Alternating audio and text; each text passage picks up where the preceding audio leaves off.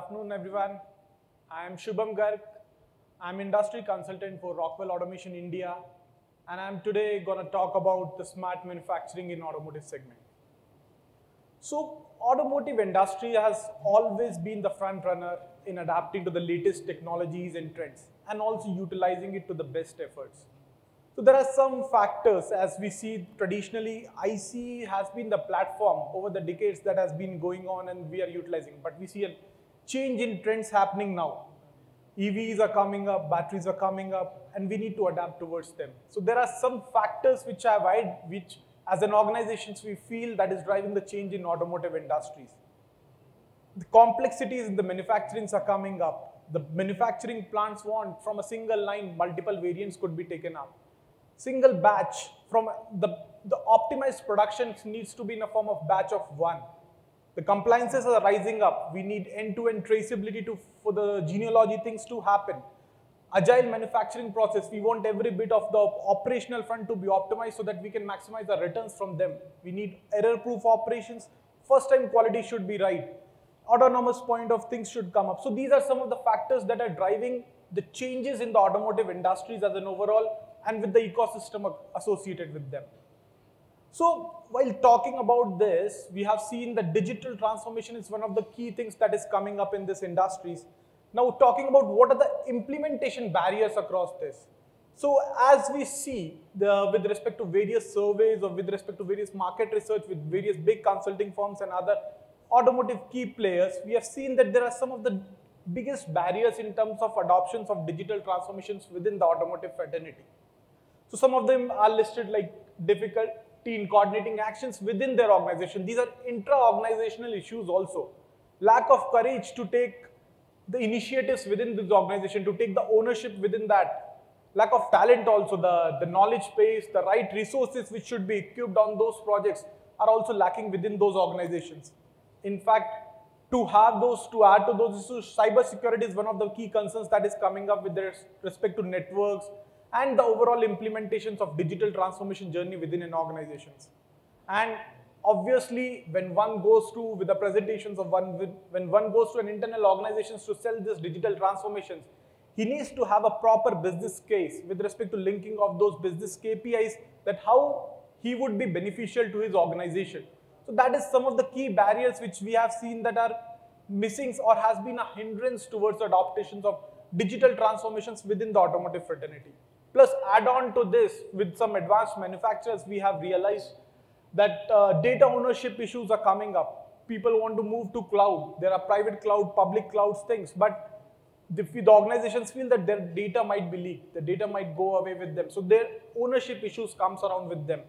They feel uncertainty about whether it should be in-house done or they should hire a consultant partner or they should hire an implementation partner who could assist them. So these are challenges we have seen with respect to the implementations of uh, digital transformation journey within the automotive fraternity. So what happens now is why you want to assess yourself, where is your organization today?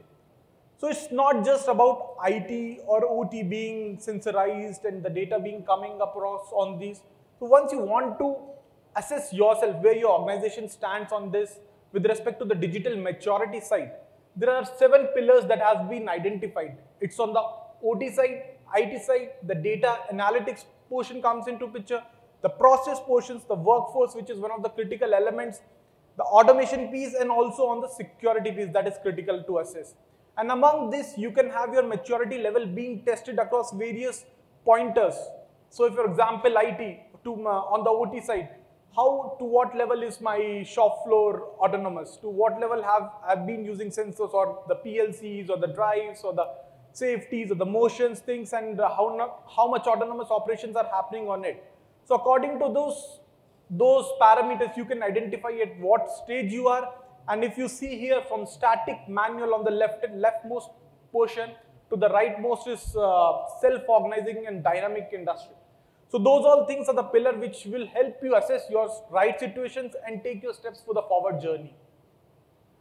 Moving on towards on the digitalization, as I talked about, one of the key barriers was in terms of identification of the right business case, linking it to the right KPIs so that you feel out a correct business context to your organizations. What we have seen is there are these are the top four digital solution cases Under this, you see with respect to the impact, low impact to high impact. But what we have seen is most of the use cases are primitively revolving around the production controls, the reliable operations, digital quality, connected workers. So there are different use cases listed here and one has to identify these use cases, which one is right for their organization, which would have maximum impact within your organization to assess it positive and that's where you keep you be choosy and select out of these use cases and go in in a pointed direction so that it could bear results for you in a fruitful manner. So talking on this, uh, what we have seen is one of the most important use case that comes out is always on the predictive maintenance side or the analytics methodology, how from the data we gathered across, how we can use those data to get into those predictions and prescriptions and models. So talking around an analytics methodology, here's an approach that we have used with our customers and what we prescribe in terms of the analytics.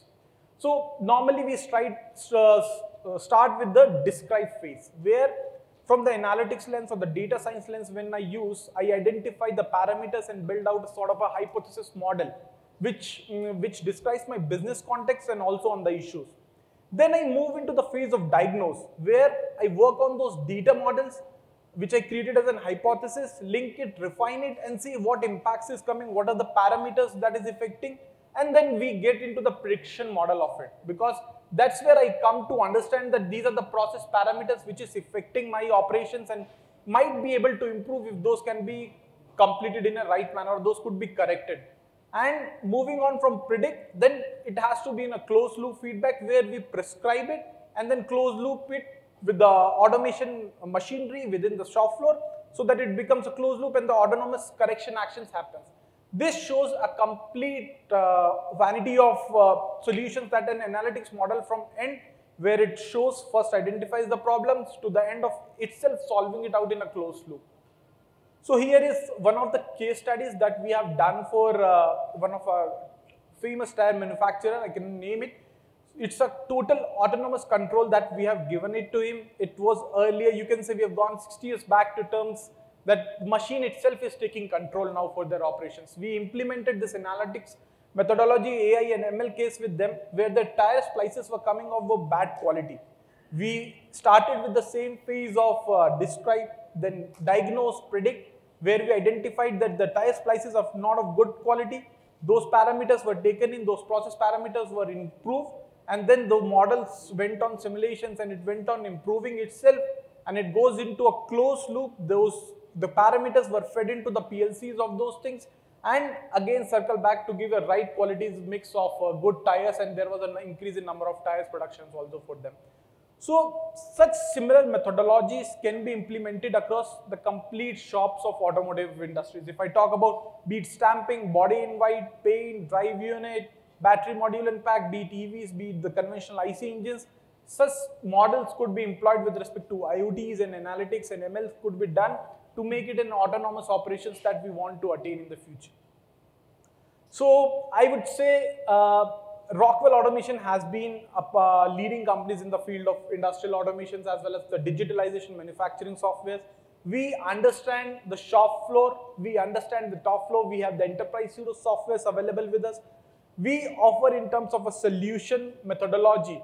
We come, understand your business, understand your operations, we analyze which are the relevant business cases for you. We link it to your KPIs, work around with you for your the linking it to the finance and ROIs, and then have a single trusted partner for the complete scalability of solutions and implementation.